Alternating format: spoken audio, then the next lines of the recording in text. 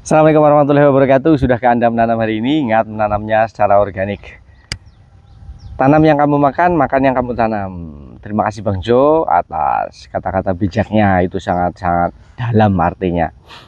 Jadi ketika kita ingin sehat dunia akhirat.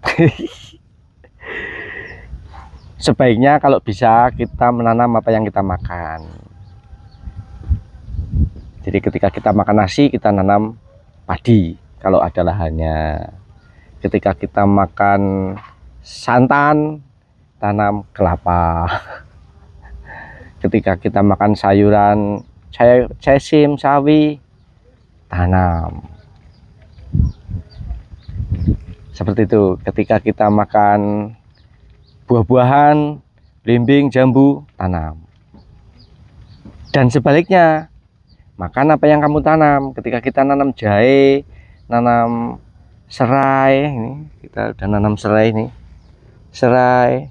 Jaya ada di pekarangan di pekarangan rumah yang sana. Ada macam-macam di sana. Cabai tomat terong. Ya. apa yang kita tanam kita makan. Kalau nggak habis dijual. Intinya seperti itu. Jadi makanan yang kita peroleh itu sebagian besar dari hasil tanaman kita. Yang kita tahu bahwa kita menanam secara organik otomatis hasilnya adalah makanan yang lebih sehat lebih aman. Seperti itu. Alhamdulillah cabenya udah mulai muncul bakal bunga. Bakal bunga udah muncul pepaya, singkong. Ya. Karena kita nanam singkong, maka besok kalau udah panen kita makan singkong. Sementara belum panen singkongnya, kita makan daun singkongnya.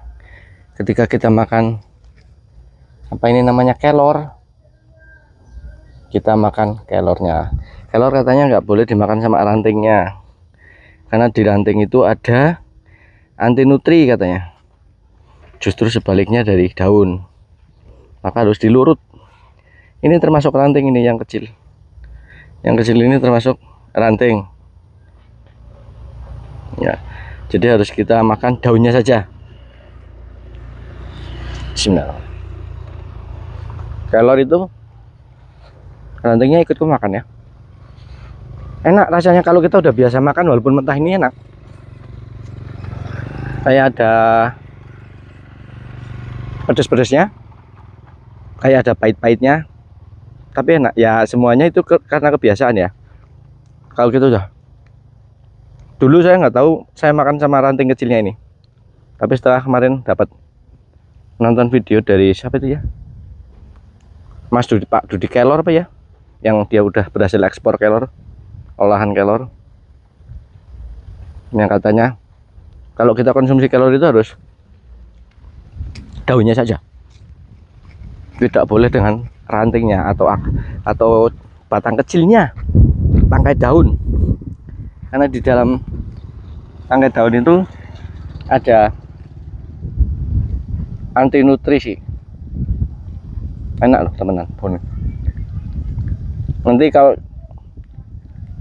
mau lengkap ya diluruti dulu baru dimakan kenapa makan mentah lebih fresh. Ya semuanya asal dalam takaran ya. Kita makan sesuatu itu kalau wajar tidak melebihi kewajaran itu nggak apa-apa aman. Kayak cai simpak coy. Mau dimakan mentah nggak apa-apa. Aman semuanya dan itu nutrisinya fresh apalagi baru petik. Tapi dalam batas kewajaran. Wong pernah di rumah sakit ada yang tanya dok kalau saya konsumsi herbal gimana? Kan nggak ada efek samping. Kata siapa? Herbal nggak ada efek, samping. Nasi saja mas. Ada efek sampingnya. Itu jawaban dokter. Ketika kita makan nasi sebakul itu ada efek sampingnya. Ya jadi ya menariknya seperti itu. Maksudnya sesuatu yang masih batas wajar itu nggak masalah. Yang bermasalah itu adalah sesuatu yang melebihi batas wajar. Kayak kita menanam konvensional ya pupuk kimia sintetisnya diperbanyak supaya hasilnya bagus itu udah melebihi batas kewajaran. Maka tanahnya akan semakin sakit. Kita nggak memakai bahan organik kompos kotoran hewan ketika menanam cuma full kimia. Itu juga nggak wajar. Yang wajarnya ya pertanian dari dulu yang memanfaatkan bahan organik. Itu seperti itu.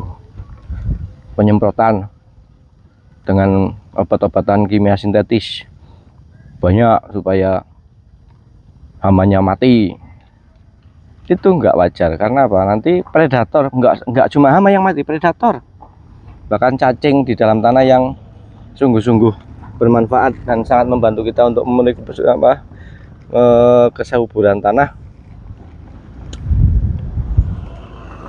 ikut mati. Kalau kena. Nah ini ada salah satu contoh. Sebenarnya ini bukan melebihi batas kewajaran cuma salah salah apa namanya? Ini kan ada itu ada yang hitam di antara sawah itu. Baris ini itu satu kotak sawah. Itu kemarin salah semprot katanya. Harusnya nyemprot obat hama yang dimasukkan ke tangki semprot itu obat rumput. Herbisida maka tanaman padinya satu kotak. Itu pingsan. Dan nggak mau pulih. Oke demikian tadi. Sekedar menyampaikan sesuatu kata-kata bijak dari Bang Jo. Terima kasih Bang Jo. Jadi intinya makan yang kita tanam tanam yang kita makan. Gitu itu kata-kata dalam sekali. Terima kasih sudah nonton. Semoga ada manfaatnya. Assalamualaikum warahmatullahi wabarakatuh